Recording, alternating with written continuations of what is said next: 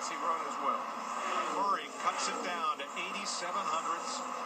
A big waggle off turn four last time. He is oh so agonizing close Yeah. to giving Chip Ganassi the Memorial Day double.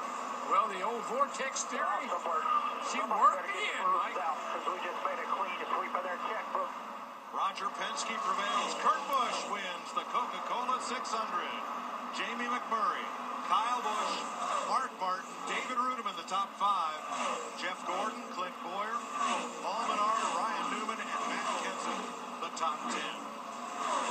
That's what I'm talking about.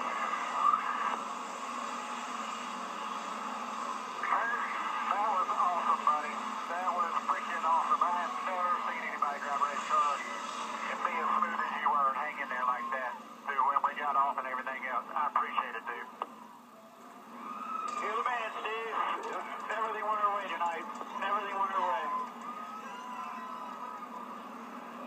Kurt Busch becomes the seventh driver to win the All-Star race and the 600 in the same year. On to the real victory lane in Charlotte. Woo! Dick Berggren with Chip Ganassi. First at Indianapolis, second here. The smile says it all. It's a, I tell you, it was a great race. I mean, Jamie did a great job in the Bass Pro Car tonight. I mean, uh, you can't take anything away from him. I mean, my old, my old buddy Penske beat me tonight. Congratulations, you did a terrific job. Yeah, my hands off to Kurt. He did a great job. Indeed, thank you. Kurt Busch becomes the 29th driver to win the Coca-Cola 600. He led 252 laps tonight. In fact, this is the first Sprint Cup point race win for Roger Penske at Charlotte. As my old buddies used to say, he just stunk up the show tonight.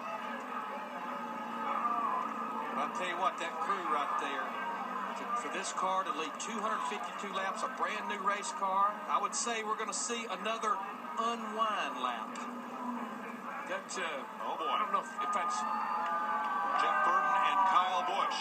Harsh words. And all in one direction. whoa, you don't see Jeff Burton get mad like that very often.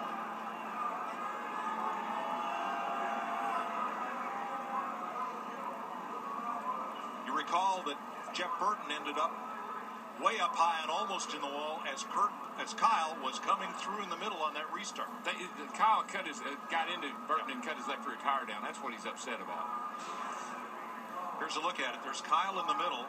Right here, I think you'll see a little contact, and this is what cuts Burton's tire down. But you got to you got to also see that the uh, the 33 was underneath it, Kyle's. I can't really, you know, it's just close racing on a restart. A look from the uh, helicopter. Right there is there. where the tire got cut. But I'm going to tell you what, Darrell, that, that that's a that's a borderline call there. Who did what? Yeah, I, I agree there. But I don't blame Burton for being upset. I mean, he had a great Great run. car. So the fireworks continue here in Charlotte. Kurt Busch will do the celebrating when we return.